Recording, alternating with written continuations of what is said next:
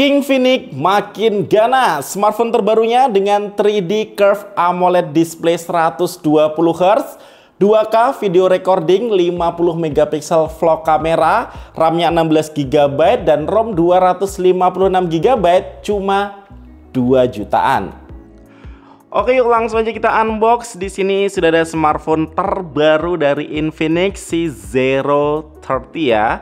Untuk fitur-fitur unggulannya di sini guys ada 50 megapiksel front vlog kamera yang untuk kamera depannya ini bisa ngerekam hingga resolusi 2K 30 fps. Terus ini juga ada NFC dengan RAM up to 16 GB ya, 8 GB plus 8 GB dengan ROM 256 GB.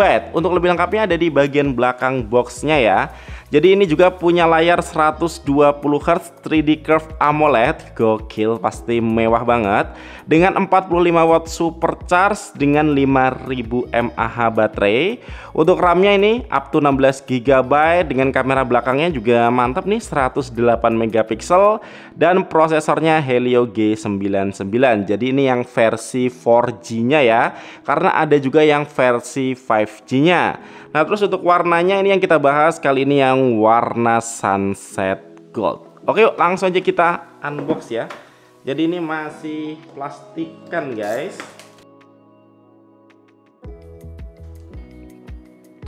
Ya jadi ini dia HP-nya guys ya si Infinix Zero 30 Kita nanti bahas nih ya yang warna sunset gold. Ya berasa keren.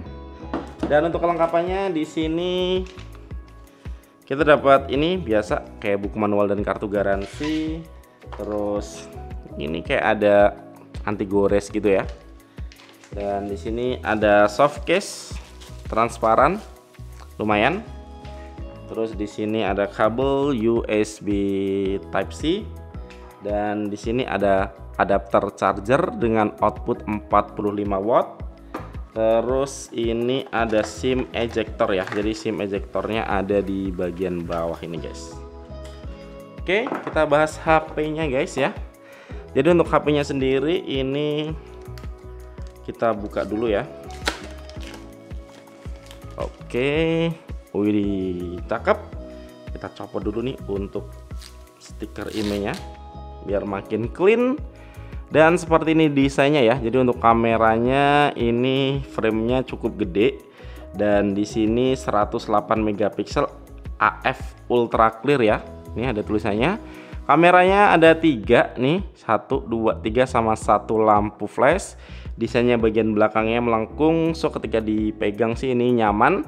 Dan untuk bagian depannya Widih, ini feelnya mewah banget guys ya, keren keren. Tapi ini beda sama itel kemarin ya, yang layarnya juga curve, tapi ini refresh rate-nya lebih tinggi di 120 Hz nih. Wih gila ya mantap. Nah terus di sini untuk bagian samping ada tombol power dan juga volume. Kalau di bagian atas nih di sini ada tertulis nih uh, apa nih powered by Infinix. Terus ada mic, ada speaker ya jadi ini dual speaker karena untuk di bagian bawah ini juga ada speakernya. Terus ini ada USB-C, ada mic, ada slot SIM. Kita coba intip. Oh, jadi dia tipenya sandwich dual SIM ya, tanpa ada slot micro SD. Dan kalau di bagian sisi ini polosan aja. Oke, yuk langsung aja kita nyalain setup dan install beberapa aplikasi buat kita nyobain lebih lengkap sih Infinix Zero 30 4G ini. Yuk. Nah yang pertama kita bahas di harganya dulu ya Jadi Infinix Zero 30 4G Ini untuk harga normalnya di 3.099.000 Dan untuk harga flash sale-nya di 2.899.000 Ini ada juga yang versi Zero 30 5G ya Yang untuk harga normalnya di 4.299.000 Dan untuk harga flash sale-nya di 4.099.000 Untuk link belinya aku share di deskripsi video ya. Dan Infinix guys punya standar baru nih buat kelas HP 2 jutaan. Layarnya curve AMOLED, bezelnya tipis jadi tampilannya ini ganteng banget. Ukuran layarnya di 6,78 inch Curve AMOLED ya, 100% DCI-P3 dengan resolusi Full HD+. Refresh rate-nya di 120 Hz dan berlapis Corning Gorilla Glass dan tentu saja ini support in-display fingerprint. Untuk always on display-nya ini ada ya, tapi dia nggak selalu aktif. Aktif lagi kalau dipegang HP-nya. Nah lanjut buat performanya ini menggunakan chipset MediaTek Helio G99 ya memang bukan chipset baru tapi performanya masih oke okay lah buat kelas harganya.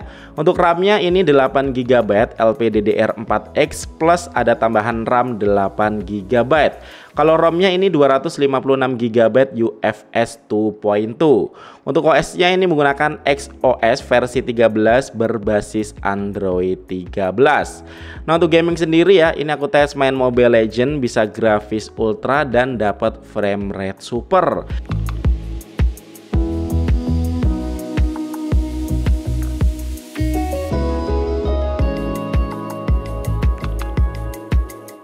Dan kalau buat PUBG Mobile ini grafis mode dapat frame rate ultra dan enak juga buat PUBG karena untuk layarnya ini responsif dan juga gironya ini hardware. Nah untuk PUBG sendiri aku tes main sejam jadi suhunya ini nggak sampai 40 derajat celcius ya. Jadi benar-benar nih pawang MediaTek. Dan baterainya aku main sejam berkurangnya 7% aja. Jadi 5000 mAh baterainya ini awet ya. Dan chargingnya juga cepet guys. 45 watt super charge. Ngisi 75% dalam waktu 30 menit aja Nah yuk lanjut buat kameranya sendiri ya. Jadi untuk kamera belakang ini kamera utamanya 108 megapiksel PDAF plus 2 megapiksel plus 2 megapiksel ya. Jadi nggak ada lensa ultra wide. Untuk kamera depannya ini 50 megapiksel. Nah untuk mode kameranya sendiri ini ada mode AI atau auto. Terus ada portrait, ada mode super malam dan ada mode lainnya dan tentunya ada mode video dan di sini ada mode film pendek gitu guys ya. Nanti kita coba ini mode filmnya. Dan ini ada beberapa sampel hasil foto dan video yang saya ambil menggunakan Infinix Zero 30 ini.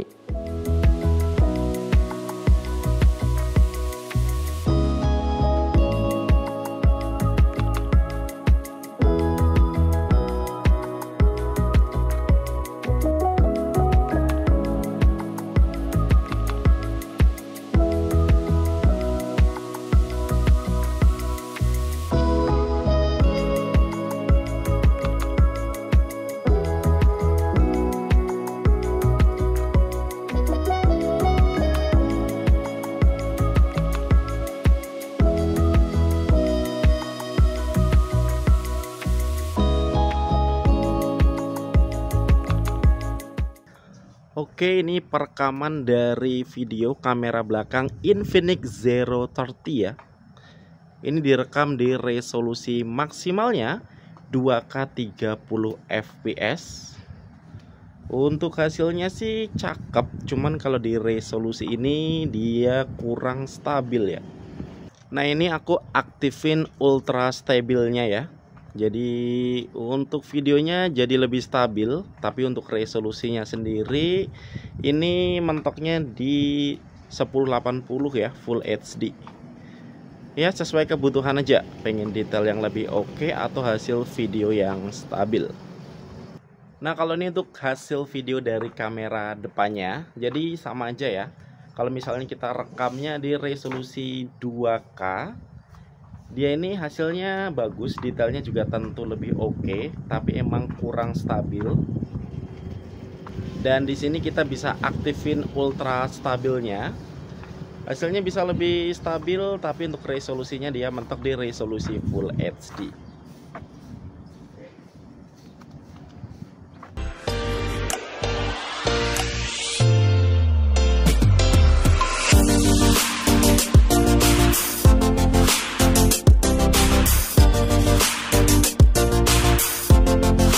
Nah kalau untuk fitur lainnya ini udah IP54 waterproof ya. Jadi dia ini tahan percikan air dari segala arah.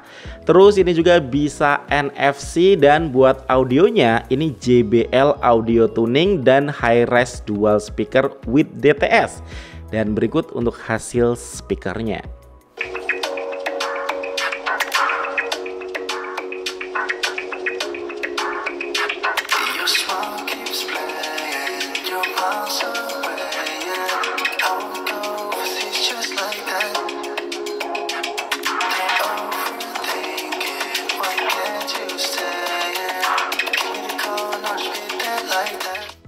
Nah untuk kesimpulan video kali ini makin mantep nih guys. Infinix ngebawa smartphone yang desainnya tuh berasa flagship ya.